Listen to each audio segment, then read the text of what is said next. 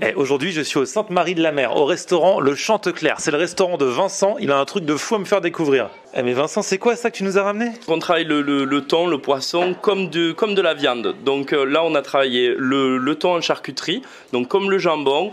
Un jambon cru, on l'a mis en saumure, on l'a fait sécher, on l'a salé et ensuite on l'a fait sécher pendant plusieurs mois.